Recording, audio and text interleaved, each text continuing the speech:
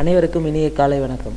Olympia TNPSC academy வழங்கும் இன்றைய நடப்பு நிகழ்வுகளில் நாம் பார்க்க இருக்கிறது ஏழு ஆறு ரெண்டாயிரத்தி பதினெட்டு முதல் எட்டு ஆறு ரெண்டாயிரத்தி பதினெட்டு வரை நடந்த நிகழ்வுகளின் தொகுப்புகள். சிறப்பு பொருளாதார மண்டலங்கள் பற்றிய இந்தியாவின் கொள்கையை ஆய்வு செய்வதற்காக பாபா கல்யாணி தலைமையிலான குழுவை மத்திய அரசு அமைத்துள்ளது.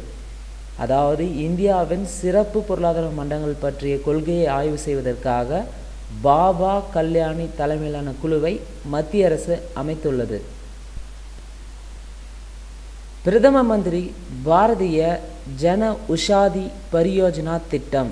அதாவது பிரதம மந்திரி பாரதிய ஜன உஷாதி பரியோஜனா திட்டம் அப்படின்னா என்னன்னு பார்த்தீங்கன்னா ஏழை நடுத்தர மக்கள் மலிவு விலையில் மருந்துகளை வாங்கவும் இதய ஸ்டென்ட்டுகள் மற்றும் மூட்டு மாற்று அறுவை சிகிச்சை செய்யவும் அறிமுகம் செய்யப்பட்டுள்ள திட்டத்தின் பெயர் தான் பிரதம மந்திரி பாரதிய ஜன உஷாதி பரியோஜனா திட்டம். ரெண்டாயிரத்தி பதினெட்டாம் ஆண்டுக்கான உலகின் அமைதியான நாடுகள் பட்டியலில் முதலிடம் ஐஸ்லாந்து இரண்டாம் இடம் நியூசிலாந்து மூணாம் இடம் ஆஸ்திரியா நாலாம் இடம் போர்ச்சுகல் ஐந்தாவது இடம் டென்மார்க்.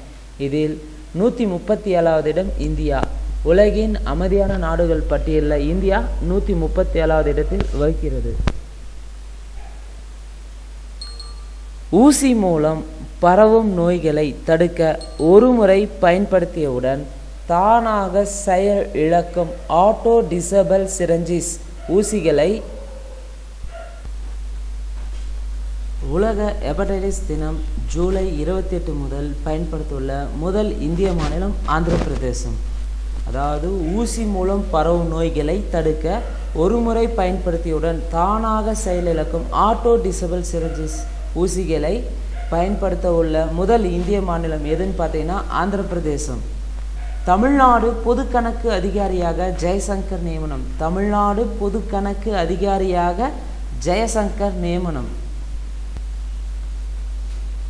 ரெண்டாயிரத்தி பதினெட்டாம் ஆண்டின் புவி நுண்ணறிவு ஆசியா மாநாடு நடைபெற்ற இடம் புதுடெல்லி. ரெண்டாயிரத்தி பதினெட்டாம் ஆண்டின் புவி நுண்ணறிவு ஆசியா மாநாடு நடைபெற்ற இடம் புதுடெல்லி.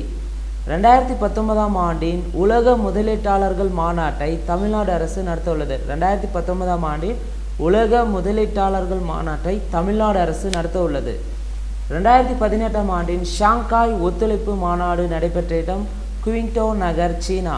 ரெண்டாயிரத்தி பதினெட்டாம் ஆண்டின் ஷாங்காய் ஒத்துழைப்பு மாநாடு நடைபெற்ற இடம் குயின்டோகோ நகர் சீனா. ரெண்டாயிரத்தி பத்தொம்போது ரெண்டாயிரத்தி இருபதில் இந்தியாவின் பொருளாதார வளர்ச்சி ஏழு புள்ளி ஐந்து சதவீதம் இருக்கும் என உலக வங்கி கணித்துள்ளது. ரெண்டாயிரத்தி பத்தொன்பது ரெண்டாயிரத்தி இருபதில் இந்தியாவின் பொருளாதார வளர்ச்சி ஏழு புள்ளி ஐந்து சதவீதம் இருக்கும் என உலக வங்கி கணித்துள்ளது. மேலும் இந்தியாவின் மொத்த உற்பத்தி ரெண்டாயிரத்தி பதினெட்டு பத்தொம்போதில் ஏழு புள்ளி மூணு சதவீதம் இருக்கும் என உலக வங்கி கணித்துள்ளது. இந்தியாவின் மொத்த உற்பத்தி ரெண்டாயிரத்தி பதினெட்டு பத்தொம்போதில் ஏழு புள்ளி மூணு சதவீதம் இருக்கும் என உலக வங்கி கணித்துள்ளது. நவீன வன மரவிதை மையம் தொடங்கப்பட்டுள்ள இடம் எம்ஆர் பாளையம் திருச்சி. நவீன வன மரவிதை மையம் தொடங்கப்பட்டுள்ள இடம் எம்ஆர் பாளையம் திருச்சி. இதை தொடங்கி வைத்தவர் தமிழ்நாடு முதலமைச்சர் எடப்பாடி கே. பழனிசாமி நாட்டிலேயே முதல் முறையாக பள்ளி மாணவர்களுக்கு சிஏ தேர்வுக்கு பயிற்சி அளிக்க உள்ள முதல் இந்திய மாநிலம் தமிழ்நாடு. அதாவது தமிழ்நாட்டில் உள்ள ஆயிரம் பள்ளிகளில் தலா ஒவ்வொரு பள்ளிகளிலும் ஐம்பது மாணவர்களிடம் ஐம்பதனாயிரம் மாணவர்களுக்கு சிஏ தேர்வுக்கு பயிற்சி அளிக்கவுள்ள முதல் இந்திய மாநிலம் எதுன்னு பார்த்தீங்கன்னா தமிழ்நாடு. கள்ளக்குறிச்சி கூட்டுறவு சர்க்கரை ஆலையில் கரும்பு திசு வளர்ப்பு ஆய்வகம் அமைக்கப்படுகிறது. கள்ளக்குறிச்சி கூட்டுறவு சர்க்கரை ஆலையில் கரும்பு திசு வளர்ப்பு ஆய்வகம் அமைக்கப்படுகிறது. இந்தியாவில் தொழில் வளர்ச்சியில் தமிழ்நாடு மூன்றாம் இடத்தில் உள்ளது. இந்தியாவினுடைய தொழில் வளர்ச்சியில் தமிழ்நாடு மூன்றாவது இடத்தில் உள்ளது. சென்னையின் மூன்றாவது ரயில் முனையம் தாம்பரம் ரயில் நிலையம். சென்னையின் மூன்றாவது ரயில் ரயில் முனையம் தாம்பரம் ரயில் ரயில் நிலையம். தாம்பரம் நெல்லை இடையே அந்தியோதயா எக்ஸ்பிரஸ் ரயில் சேவையை ஜூன் எட்டு அன்று மத்திய ரயில்வே இணையமைச்சர் ராஜன் கோகைன் தொடங்கி வைத்தார். தாம்பரம் நெல்லை இடையே அந்தியோதயா எக்ஸ்பிரஸ் ரயில் சேவையை ஜூன் எட்டு அன்று மத்திய ரயில்வே இணையமைச்சர் ராஜன் கோகைன் தொடங்கி வைத்தார். இதேபோன்று கோவை பெங்களூரு இடையே இரட்டை அடுக்கு வசதி கொண்ட உதய் விரைவு ரயில் சேவையை ஜூன் எட்டு அன்று மத்திய ரயில்வே இணையமைச்சர் ராஜன் கோகைன் தொடங்கி வைத்தார். ரெண்டாயிரத்தி பதினாறு பதினேழாம் ஆண்டுக்கான இந்திய கிரிக்கெட் வாரிய விருதுகள் அறிவிக்கப்பட்டுள்ளன. சி. கே. நாயுடு வாழ்நாள் சாதனையாளர் விருது. பங்கஜ் ராய் இறப்பிற்கு பிறகு பங்கராஜ் பங்கஜ் ராஜ் அவர்களுக்கு வழங்கப்பட்டுள்ளது. சி. கே. நாயுடு வாழ்நாள் சாதனையாளர் விருது. பங்கராஜ் அவர்களுக்கு இறப்பிற்கு பிறகு வழங்கப்பட்டுள்ளது. பிசிசிஐ சிறப்பு விருதை பெற்றவர் அப்பாஸ் அலி. ரெண்டாயிரத்தி பதினாறு பதினேழாம் ஆண்டிற்கான பிசிசிஐ சிறப்பு விருதை பெற்றவர் அப்பாஸ் அலி. பெய்க் மற்றும் நரேன் தமானி. ரெண்டாயிரத்தி பதினாறு பதினேழாம் ஆண்டிற்கான பாலி உம்ரிக்கர் விருதை பெறுபவர் விராட் கோலி.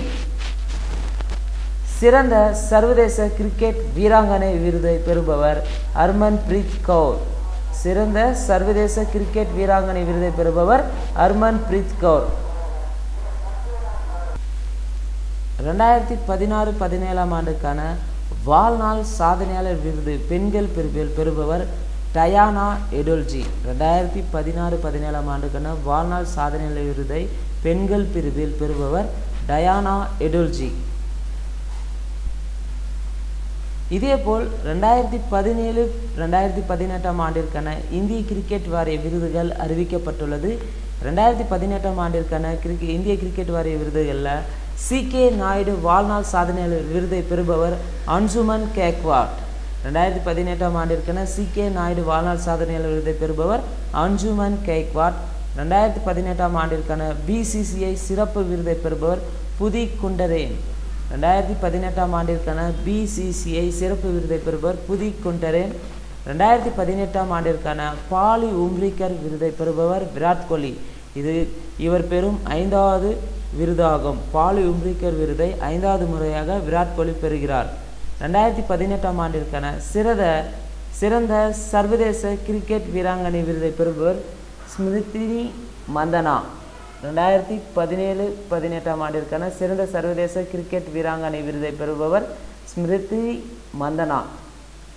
ரெண்டாயிரத்தி பதினெட்டாம் ஆண்டிற்கான வாழ்நாள் சாதனையாளர் விருதை பெண்கள் பிரிவில் பெறுவர் சுதா ஷா.